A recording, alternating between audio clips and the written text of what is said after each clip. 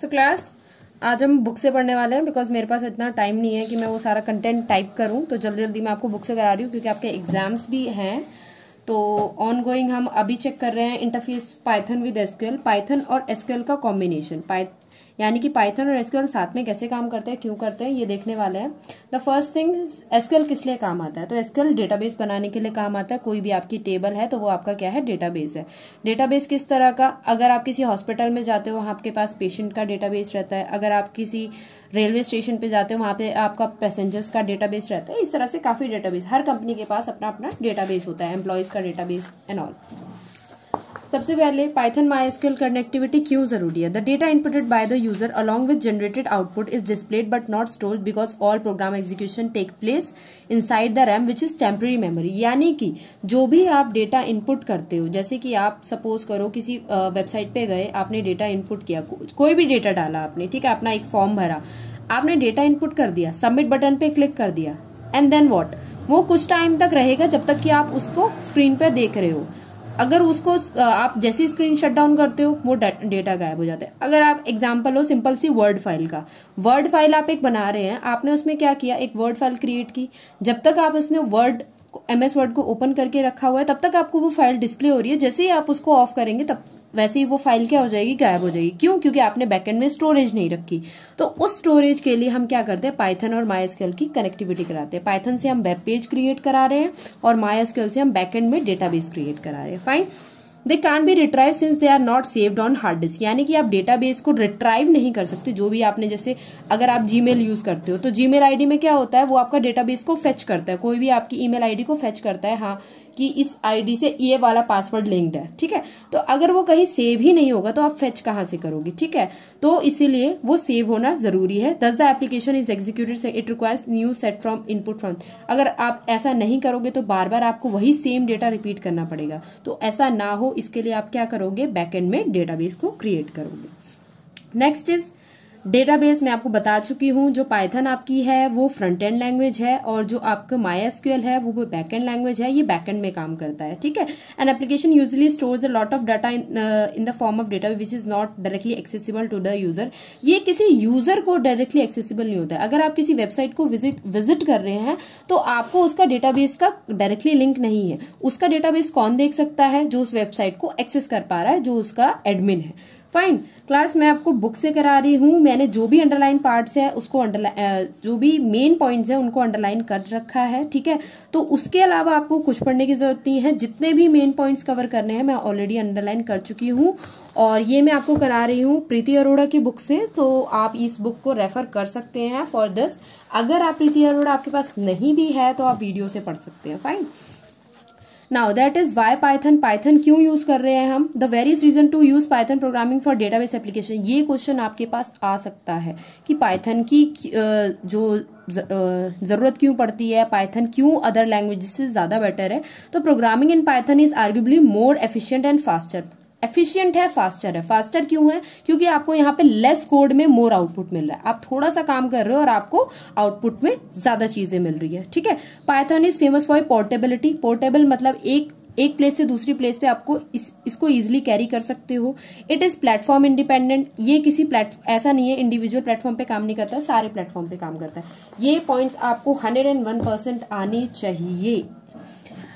Python support, SQL cursor, SQL के cursor को support करता है। अब कर्सर क्या है वो हम आगे के चैप्टर में देखेंगे। Python support relational database system, यानी कि जो भी रिलेशनल डेटाबेस है, आपका आरडीएमएस, आरडीबीएमएस है, उसका सपोर्ट करता है। ठीक है, रिलेशनल डेटाबेस क्या होता है? जब भी आप किसी दो टेबल को या मोर देन टू टेबल्स को आपस में कनेक्ट करते हैं using foreign key and all तो वो आपका किसमें आएगा? रिलेशनल डेटाबेस में। Fine next is installing MySQL connector अब पहली चीज़ जो आपको इस चैप्टर में से आ सकती है, वो है स्टेप्स ठीक है? तो the first one is we must download separate DBI ये सब आपको नहीं करना है, ठीक है? मैं आपको क्लियरली बता देती हूँ कि आपको कौन कौन से पॉइंट्स पता होने चाहिए। जैसे कि आपको क्या चाहिए we have to install MySQL connector यहाँ पे आपको माइस्कल कनेक्टर इंस्टॉल करना है सबसे पहले, ठीक है? Then the second step is अगर आपके पास माई एसक्यूएल का कनेक्टर आ गया, उसके बाद आपने पाथ सेट कर लिया है, ठीक है? उसके बाद आप क्या करेंगे? M pip install MySQL connector ये आपका क्या होगा? स्टेप सेकेंड होगा। ये आपका क्या होगा? स्टेप सेकेंड कौन सा? कि M pip install MySQL connector fine आपका स्टेप थर्ड में क्या आएगा? Type MySQL connector using Python shell आप पाइथन शेल को ओपन करेंगे और उसमें क्या टाइप करेंगे? इम्पोर्ट माई एसक्यूएल कनेक्टर ये आपके तीन स्टेप हो गए, ठीक है? फिर उसके बाद डाउनलोड पाइथन थ्री एक्स ये तो आप जैसे कि पाइथन कोई भी आप यूज़ कर रहे हैं, कोई भी वर्जन ठीक है? एक्स का मतलब है कोई भी वर्जन हो सकता है वो। फिर उसके बाद एक माई एसक्यूएल एपीआई यूज़ करेंगे एग्जीक्यूटेबल फ़ाइल है इसको इंस्टॉल करेंगे। Install Python MySQL connector now connect MySQL server using Python ये आपके स्टेप थ्री के बाद four five six seven seven steps ये आप एज इट इज़ लर्न करोगे, ठीक है? मैं आपको शॉर्टकट में बता चुकी हूँ क्या क्या लर्न करना है क्या क्या नहीं। ये लाइन आपको लिखनी है। इम्पोर्ट माइस्क्यूएल ये आपको पाइथन शेल दिस जो भी आप सेट पाथ पाथ को सेट कर लोगे तो कौन सी कमांड लिखोगे? M pip stall MySQL connector fine okay. अब यहाँ पे आपको एक नेक्स्ट फॉर्मेट पेज नंबर 240 पे, जो ये क्या है? Steps for creating database connectivity application यानी कि आप क्या कर रहे हो? वहाँ पे आपने इंस्टॉलेशन प्रोसेस देखा। अब यहाँ पे क्या कर रहे हो? आप उसको डेटाबेस की कनेक्टिविटी एप्लीकेशन को क्रिएट कर रहे हो। जैसे कि आपने पाइथन को स्टार्ट किया।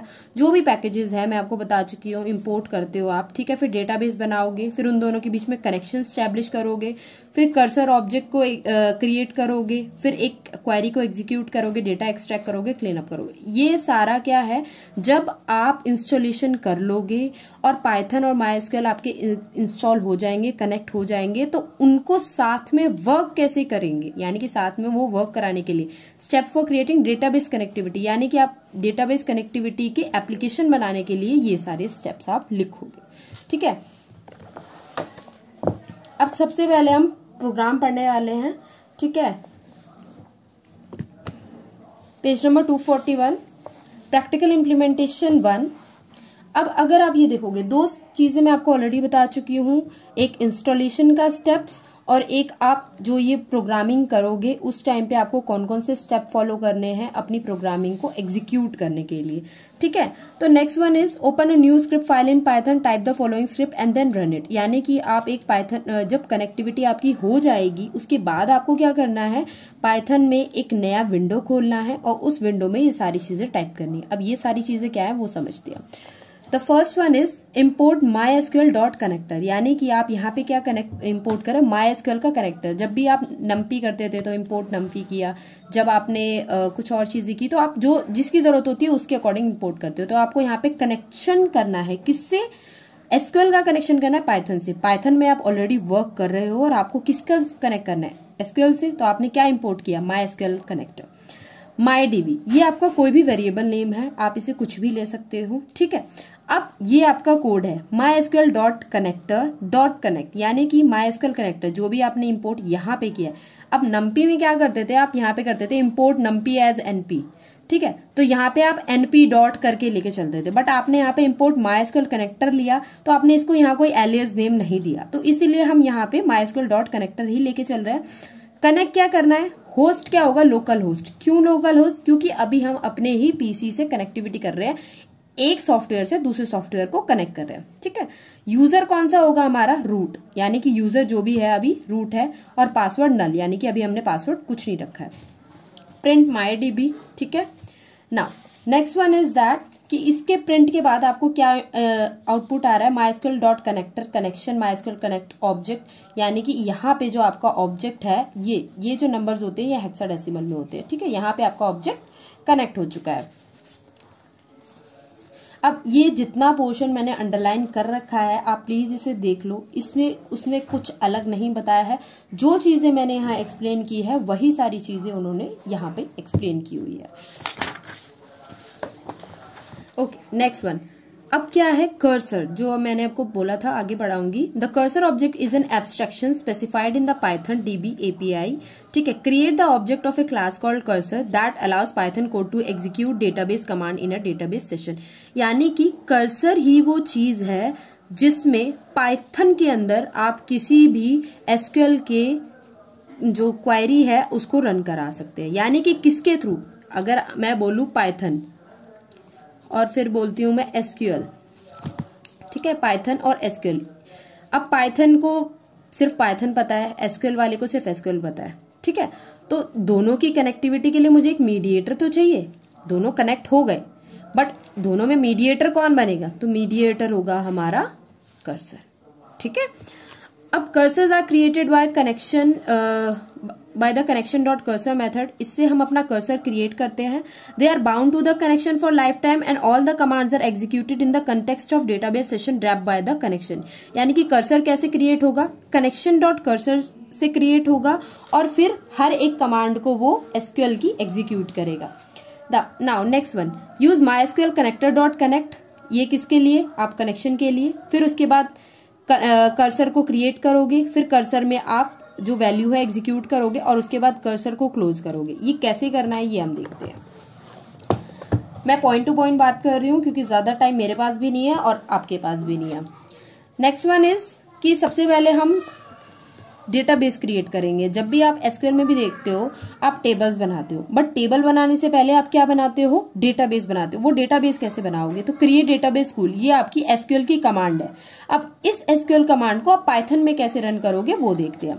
To create a new database school from Python to my okay आपने क्या किया? इम्पोर्ट माइस्क्यूएल डॉट कनेक्टर ये क्यों किया? क्योंकि हमें माइस्क्यूएल से कनेक्टिविटी चाहिए। My D B equal to my SQL dot connector dot connect ये लाइन ये जो दो लाइन है, ये आपको हर जगह देखने को मिल जाएगी, ठीक है?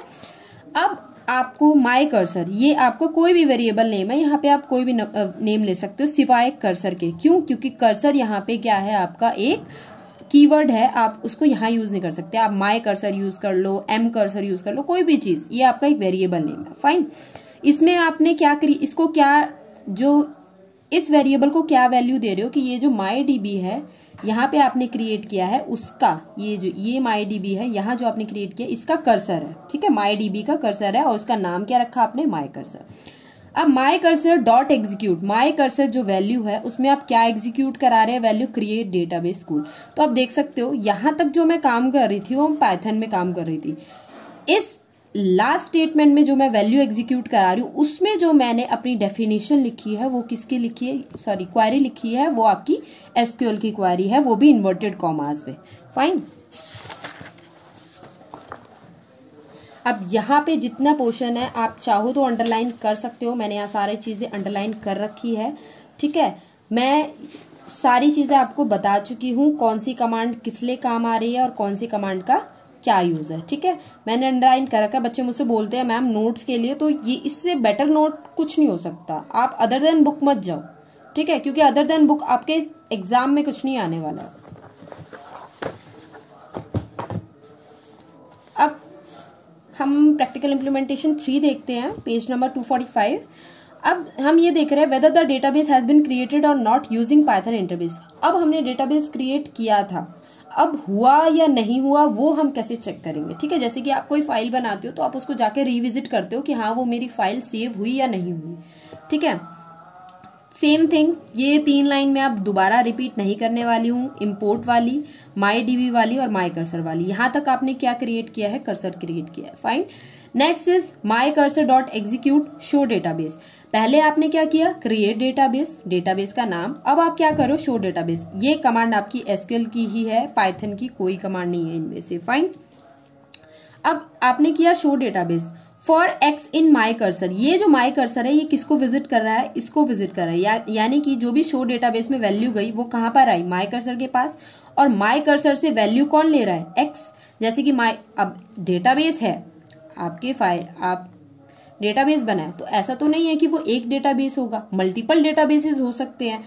अब मल्टीपल डेटाबेस है तो मुझे अगर जैसे ज़ीरो नंबर पे कौन सा डेटाबेस है वन नंबर पे कौन सा डेटाबेस है टू नंबर पे कौन सा डेटाबेस है तो उसके लिए मुझे किसकी ज़रूरत पड़ेगी? फॉर लूप की, कि जब तक माई कर्सर में डेटाबेस के नाम है, तब तक मेरा एक्स में क्या आती जाएँगी? वैल्यू आती जाएँगी, और एट लास्ट में क्या करूँगी? उस वैल्यू को प्रिंट कराती जाऊँगी। ठीक है?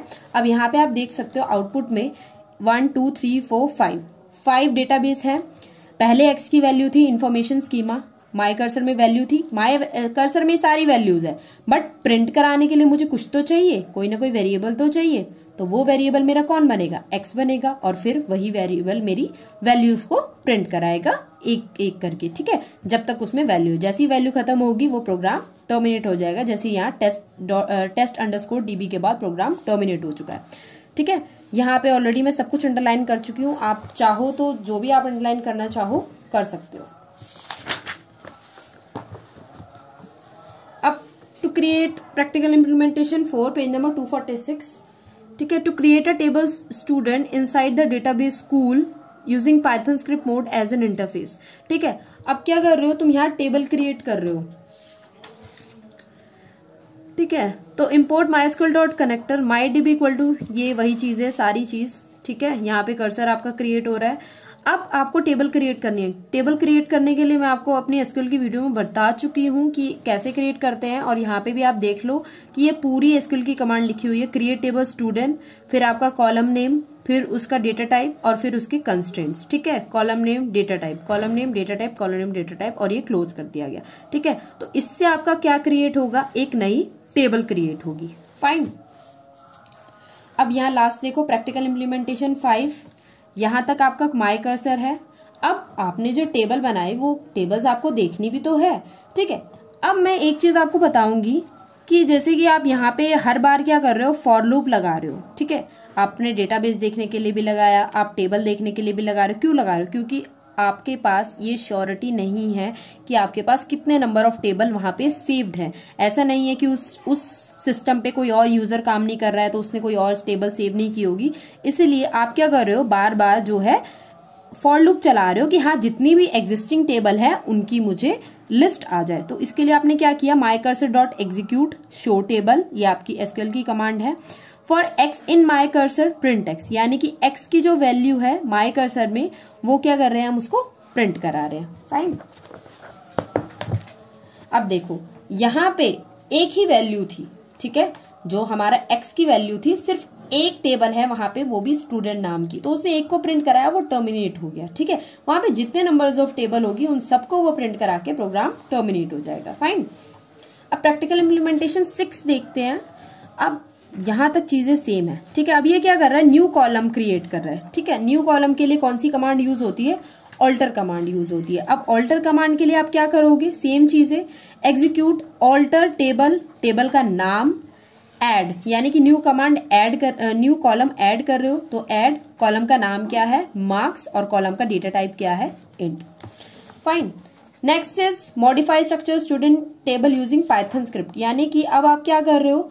स्ट्रक्चर जो भी आपने चेंज किया है, उसको देखना है तो उसकी जो कमांड होती है डीईएससी स्टूडेंट डीईएससी स्टूडेंट जब आप लिखते हो सेलेक्ट स्टार फ्रॉम स्टूडेंट तो वो स्टूडेंट का डेटा दिखाता है कि हाँ उसमें कॉलम के नेम क्या है और रोज में डेटा क्या है। बट डीईएससी स्टूडेंट जब भी आप लिखते हो, वो ये दिखाएगा कि हाँ जो कॉलम के नेम है, उनका डेटा टाइप क्या है, उनका कंस्टेंट क्या है, उनका साइज़ क्या है। ठीक है? डीईएससी डिस्क्राइब फाइन तो यहाँ तक आपका my cursor my DB dot cursor है। My cursor dot execute DSC student अब उसमें अगर एक टेबल है तो एक टेबल में मल्टीपल कॉलम्स होंगे। तो उस मल्टीपल कॉलम्स के लिए मैं किस लिए यूज़ यूज़ कर रही हूँ? एक्स यूज़ कर रही हूँ माई कर्सर में ठीक है? प्रिंट एक्स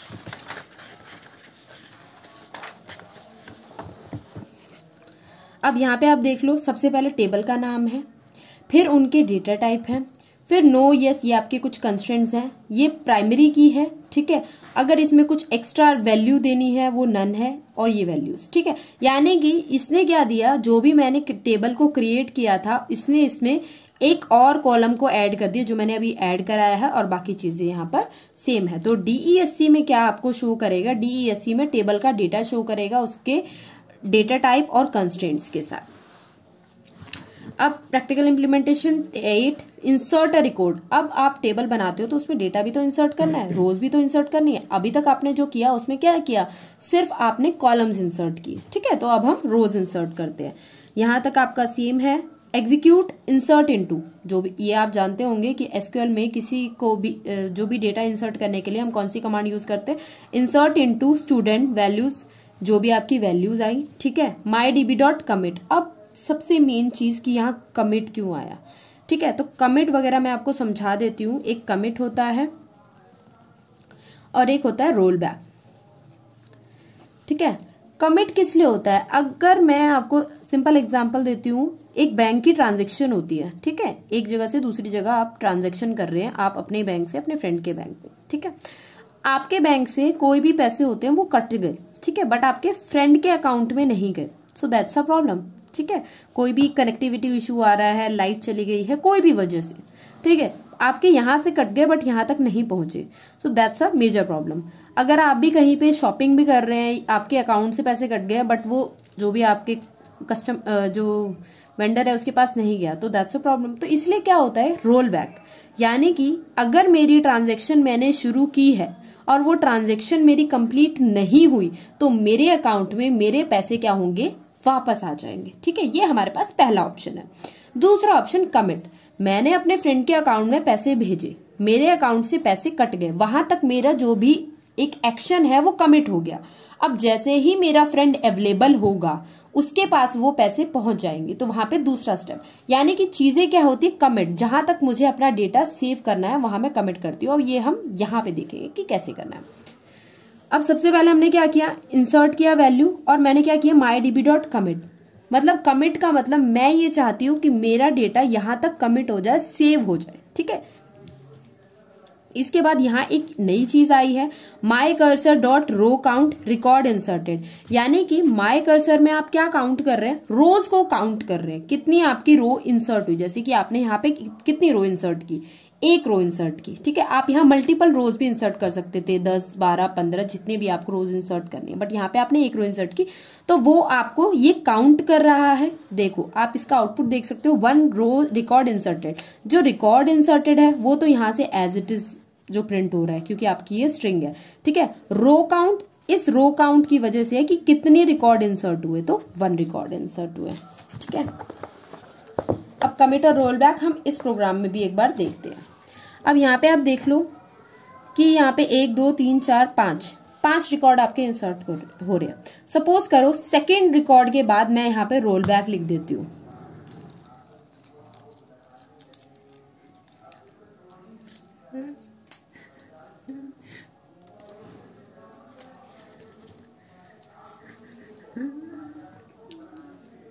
सेकेंड रिकॉर्ड के बाद मैं यहाँ पे रोल बैक लिख देती हूँ। आफ्टर देन क्या होगा? जो भी मेरे दो रिकॉर्ड इंसर्ट हुए थे, वो सेव नहीं होंगे और मैं कहाँ पहुँच जाऊँगी? पहले स्टेप पे पहुँच जाऊँगी। ठीक है? अब ऐसा हो सकता है कि मैं तीसरा रिकॉर्ड लिख रही थी और उसके बाद लाइट चली गई। ठीक है? तो मैंने कमिट तो किया नहीं। मैंने उसको सेव नहीं किया। जैसे कि आप वर्ड में काम कर रहे हो, आप हर दस मिनट बाद वर्ड को सेव कर रहे हो तो तो आपका डाटा सेव हो रहा है। आपने वर्ड पे काम कर रहे हो, अचानक से लाइट चली जाती है। तो आपका क्या हुआ? डेटा सेव नहीं हुआ, सारा डेटा लॉस्ट हो गया। ठीक है तो वो रोल बैक हो जाएगा, जहाँ तक वो सेव हुआ था लास्ट वहाँ तक। ठीक है, अगर मैं यहाँ कमिट कर रही हूँ तो तब मेरा डेटा सेव होगा। बट अगर मैं यहाँ पे कमिट कर रही हूँ, आगे मैंने दो लाइन लिखी बट वो दो लाइन सेव नहीं हुई लाइट चली गई तो मेरा डेटा कहाँ पे पहुँच जाएगा? जहाँ मैंने लास्ट कमिट किया था, जहाँ मैंने अपना लास्ट डेटा सेव किया था। ठीक है तो वो रोल बैक हो जाएगा। फाइन अब यहाँ पे तीन पॉइंट्स लिखे हुए हैं। एक कमिट है, एक रोल बैक है, एक ऑटो कमिट है। कमिट का मतलब जो भी आप वैल्यू मैं बता चुकी हूँ, जो भी आप कमिट करना है, जहाँ पे भी, जहाँ तक भी आपको अपना डेटा सेव करना है, वहाँ पे आप कमिट फ़ंक्शन को यूज़ कर सकते हो रोल बैक जहाँ पे आपको चेंजेस अपने रिवर्ट करने हैं। जैसे हम अंडू यूज़ करते हैं। अंडू आपको कहाँ तक ले जाता है? लास्ट स्टेप जो भी आपने सेव किया हो, ठीक है? तो रोल बैक ऑटो कमिट हम किस लिए ऑन करते हैं? अब ऑटो कमिट हम इसलिए ऑन करते हैं कि अब मैं जो भी काम करते यार, वो ऑटोमेटिकली सेव होता जाए मुझे टेंशन ना हो कि हाँ मुझे उसको बार बार सेव करना हो। तो अगर मैं ऑटो कमिट को ऑन रखती हूँ तो मेरा डेटा ऑटोमेटिकली सेव होता है। मुझे बार बार कमिट करने की ज़रूरत नहीं पड़ती। बट अगर मेरा ऑटो कमिट ऑफ़ है तो मुझे बार बार डेटा कमिट करने की ज़रूरत पड़ेगी। तो that is the use of auto commit ये आ सकता है। ठीक है? तो ये थ्योरी में भी एक मार्क्स के क्वेश्चन में आ सकता है। अब ये सिंटेक्स दिया हुआ है connection dot commit connection dot यानी कि यहाँ पे जो भी कनेक्शन का नाम होगा आपका, ठीक है? अब यहाँ पे कुछ, पहले मैं यहाँ पे आपको बताऊँगी, फिर आपको प्रोग्राम से इंट्रोड्यूस कराऊँगी। रीड ऑपरेशन तीन टाइप्स के आपके यहाँ रीड ऑपरेशन है, एक फैच वन ठीक है? एक फैच ऑल ठीक है? दो टाइप्स के ही है।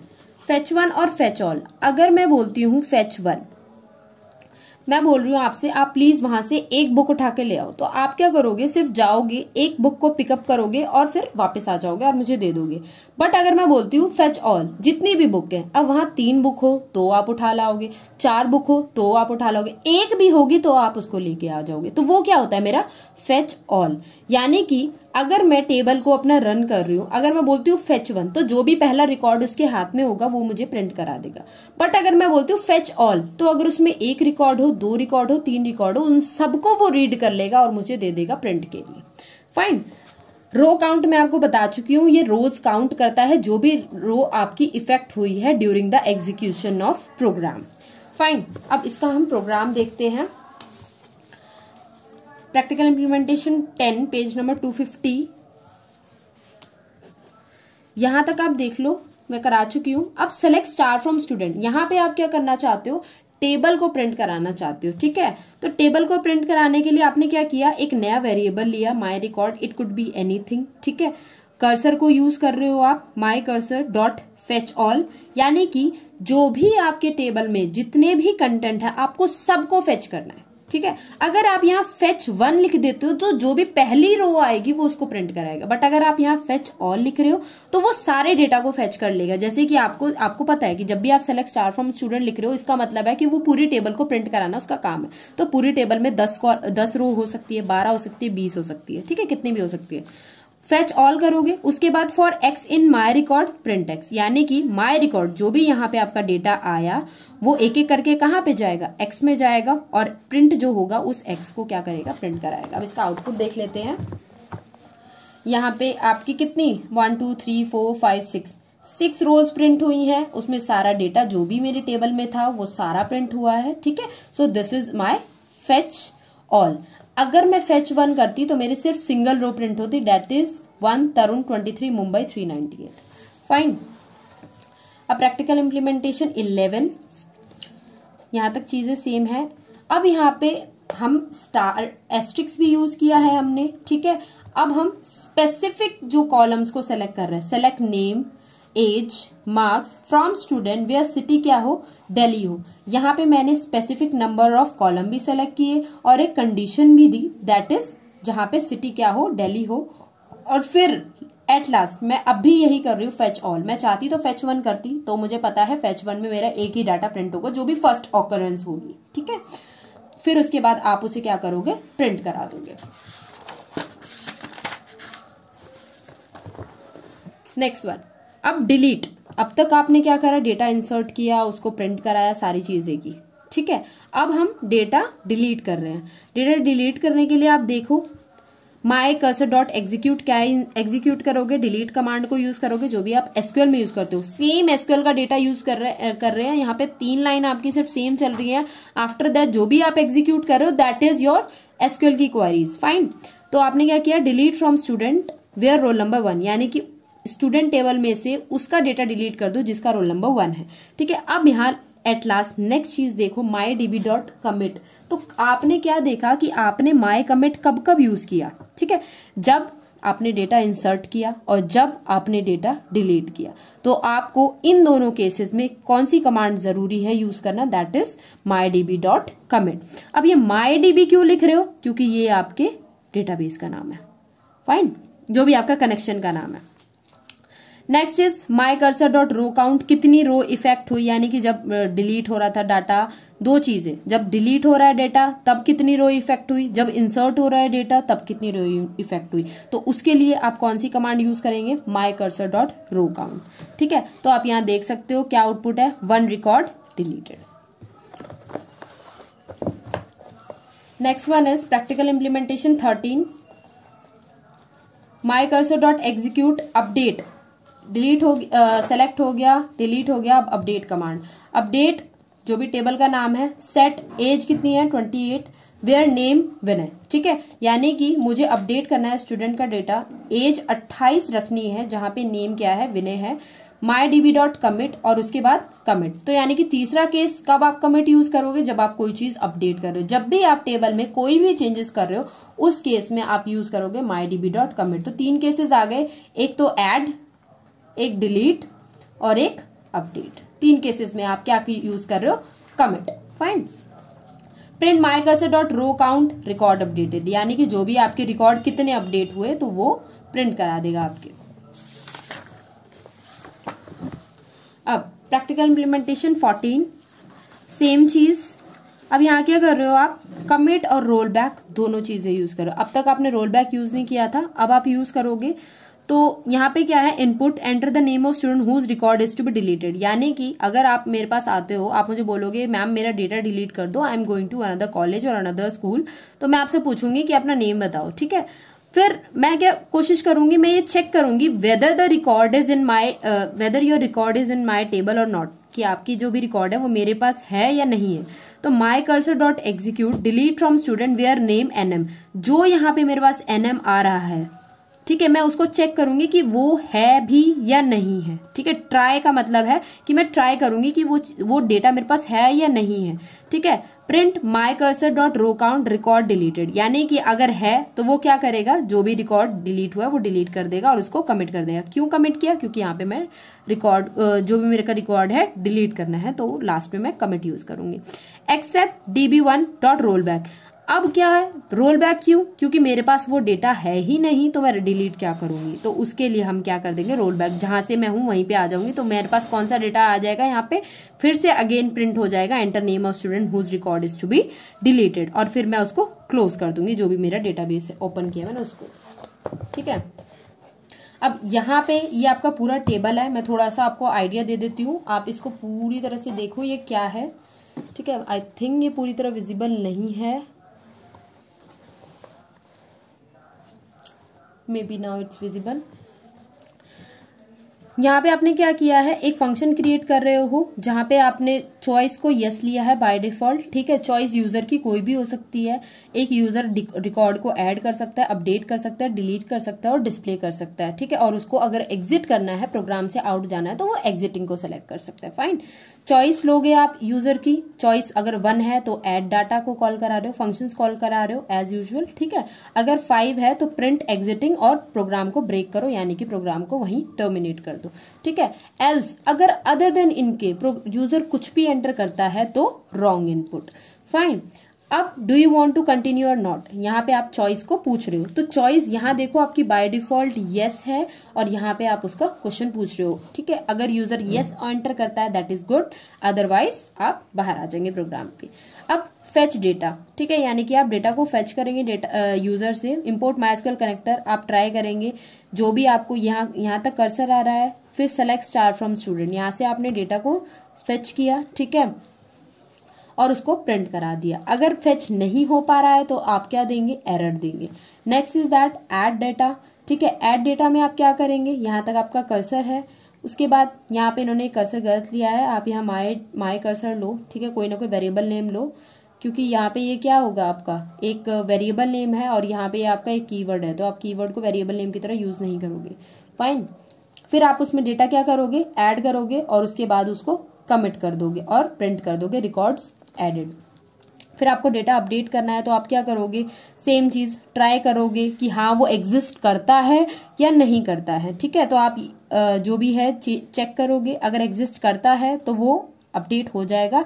Otherwise print E okay exception as E otherwise जो भी है, आपको वो एक्सेप्शन प्रिंट कर देगा। Fine next one is that delete data ठीक है? डेटा को डिलीट करने के लिए वही चीज़ आप करोगे कि जो भी आपका डिलीट है, delete from student where name is Ritu आप जो भी ऋतु उस जो गर्ल का नेम है, उसका रिकॉर्ड आपको डिलीट करना है। Cursor dot execute SQL print record deleted और लास्ट में आप रिकॉर्डिंग ये प्रोग्राम आपका इतना ज़रूरी नहीं है। फाइन मैं आपको क्लियर बोलती हूँ, ये प्रोग्राम इतना ज़रूरी नहीं है। बट बाकी के जितने मैंने प्रोग्राम्स कराए हैं, सारे ज़रूरी है। आपको डेटा ऐड करना आना चाहिए डिलीट करना आना चाहिए और डिस्प्ले कराना आना चाहिए। अपने जो कॉलम में रिकॉर्ड ऑल्टर करके करना आना चाहिए। यहाँ पे कुछ क्वेश्चंस भी दिए हुए हैं मे बी आप प्रैक्टिस कर लो और हो सके तो जो भी आपके एनसीईआरटी के क्वेश्चन आंसर्स हैं, अगर एनसीईआरटी आपको मिलती है वैसे तो एनसीईआरटी अवेलेबल नहीं है, ठीक है? जो सीबीएसई के क्वेश्चन आंसर्स हैं, वो आप प्रैक्टिस करो, ठीक है? इससे रिलेटेड जो भी क्वेश्चन आंसर्स आए हैं इन केस अगर कोई क्वेरी है then you can comment okay tata bye bye thank you